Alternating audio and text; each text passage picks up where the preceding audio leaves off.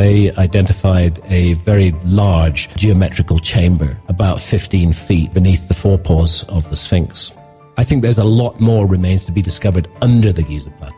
He said that the Hall of Records of Atlantis lay beneath the paws of the, of the Great Sphinx. The reasons that I would never seek to divorce the ancient Egyptians from the Great Pyramids are, there are several reasons actually. But first and foremost, I have no doubt that the ancient Egyptians were involved in completing the Great Pyramids, and there's four reasons for that. And that is the shafts, the so-called air shafts, that cut through the body of the Great Pyramid. Uh, they're very small. Um, they're about that wide, that high. There are two of them in the so-called King's Chamber, yeah. one on the north wall, one on the south wall. And they always exited on the outside of the pyramid. And that was known back into the, the 19th century.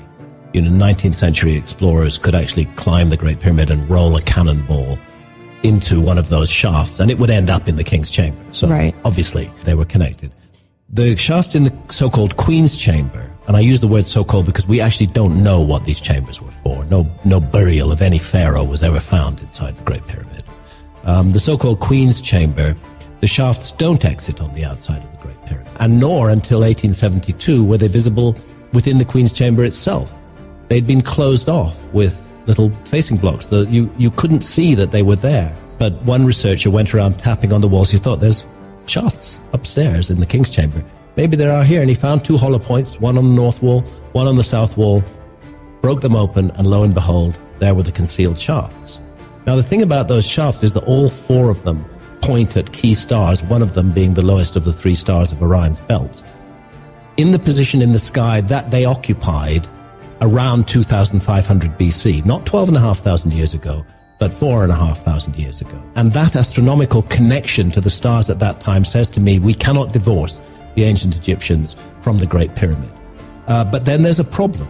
The ground pattern on the three pyramids on the ground reflects the pattern of Orion's of Orion, belt itself. Yeah. And this is, of course, no accident within the ancient Egyptian system uh, because the constellation of Orion was seen as the celestial image of the god Osiris, mm-hmm. the civilization bringer, the entity who went around the world teaching civilization. That is who Osiris is. And he is seen in the sky, his image is seen in the sky as the constellation of, of Orion. And one of those shafts points at Orion's belt, and another one points at, at Sirius, and two of them point at the circumpolar stars.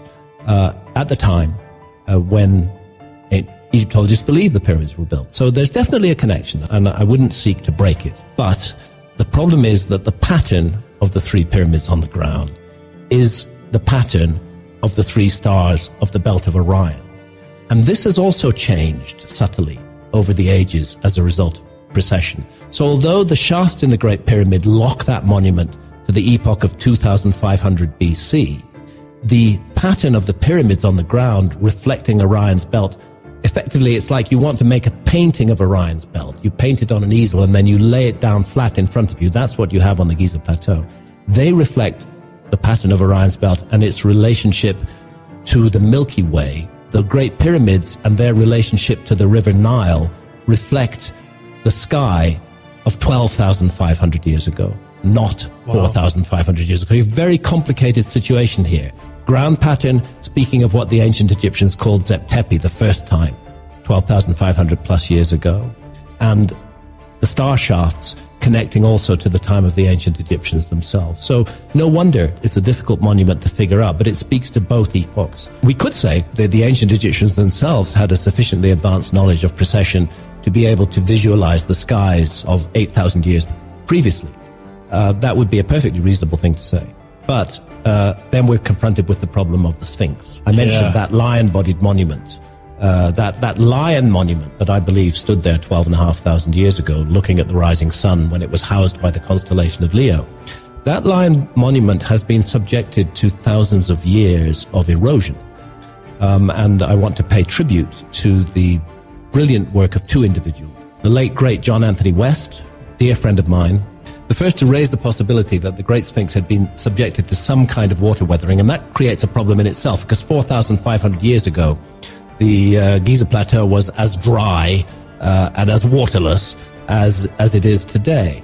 And then Professor Robert Schoch from Boston University And kudos to Robert Schoch for putting his reputation as an established academic on the line and looking at the geology of that site and coming to the conclusion and publishing the conclusion uh, that the Great Sphinx was subjected to about 1,000 years of extremely heavy rainfall. Not a flood, but precipitation, rainfall coming from above, selectively hollowing out the softer areas of rock and leaving the harder areas of rock in, in, in place. And it's that precipitation induced weathering that you see more in the trench around the Great Sphinx now than you see on the Sphinx itself because the Sphinx has been constantly restored. This is one of the anomalies.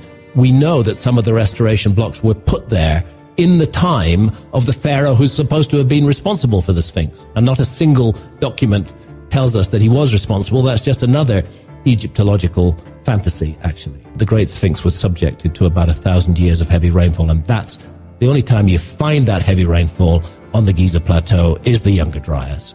Between roughly 12,800 and 11,600 years ago. You certainly didn't find it 4,500 years ago when the Sphinx is supposed to have been made. So we're looking at a very old monument, very heavily eroded. In the time of the ancient Egyptians, they looked at that massive leonine head, which was so damaged and so eroded, almost unrecognizable, and they recarved what was left of it uh, into the head of a human being, wearing the Nemes headdress of an Egyptian pharaoh. That is a recarving of a much more ancient monument. That's that's a restoration work that was done on it, and we don't know who which pharaoh it's supposed to represent. Egyptologists like to think that it represents Khafre there's no compelling evidence for that what's, whatsoever. So a lion-bodied monument, a, once a lion-headed monument, that now takes the form of the lion-bodied Great Sphinx with a recarved human head that's way out of proportion to the scale of the rest of the body of that 270 foot long uh, monument. The head is sort of tiny by comparison with the rest right. of the body. And the ancient yeah. Egyptians didn't get things out of proportion mm-hmm. unless there was a very good reason to do so. And I think they were restoring a, a very damaged and much older leonine head. Is there not a hidden chamber as well under the Sphinx? Yes. Um, while work was allowed to be done, John Anthony West and Robert Schoch were both involved in this work back in 1992.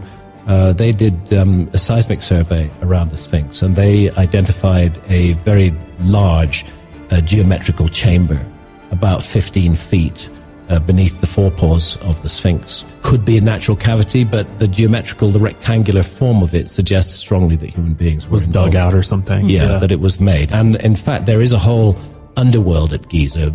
This is beginning to be recognized. The so-called Tomb of Osiris is an example of this. That subterranean chamber beneath the Great Pyramid is an example of this. There's I think there's a lot more remains to be discovered under the Giza Plateau. What is needed is seismic tomography, and uh, that will show you a picture of what is of what is underneath the Giza Plateau. And whenever that's been done, it's identified chambers, passageways, corridors, um, and not enough is being said about this. I think they're just so locked into their paradigm that they, they can't see what's they feel like they fi- they've got it figured out they've got they it figured no, out no reason to waste resources exactly no reason to waste the resources and they don't want to get mixed up in any way with this crowd of kind of quote unquote new age thinkers like Graham Hancock Edgar Cayce was a healer he used to fall into a trance-like state. And in that trance-like state, primarily what he did was offer remedies for people's ailments. Yeah. Mm-hmm. Um, but from time to time, he would start talking about Atlantis and about a lost civilization of prehistoric antiquity. Um, and he said that the Hall of Records of Atlantis lay beneath the paws of the of the Great Sphinx. Well, immediately for, for, for scientifically minded Egyptologists, this is something to get as far away from as possible. Right. Yeah. So they kind of neglect the fact that there are ancient Egyptian texts that speak precisely of that, precisely of a hall of record. Edgar Cayce didn't know about those texts. That's he was tapping thing. in from, from some other realm into this, but that's one of the reasons that Egyptologists have distanced themselves so much from the notion that there might be something hidden there. Oddly enough, both Mark Lehner, who is the leading American Egyptologist, um, doing work around the Great Sphinx and on the Giza Plateau. And Zahi Hawass, who's the leading Egyptian Egyptologist doing work around the Giza Plateau. Both of them were sent through college by the Edgar Cayce Foundation. Wow. Robert Bauval and I published this in our 1996 book, the message of the Sphinx. It was published in, in America as the message of the Sphinx and in Britain as Keeper of Genesis. And we documented this. It's all there if anybody wants to check it out. Very rapidly afterwards, they distanced themselves completely yeah. from the Edgar Cayce organization. But until quite recently, Zahi Hawass was still giving lectures at the Edgar Cayce Foundation, while at the same time insisting that he had nothing to do with any of these so-called crazy ideas. Please engage with this video by liking, commenting, and sharing. Subscribe to stay updated. For more amazing content, check out our next video.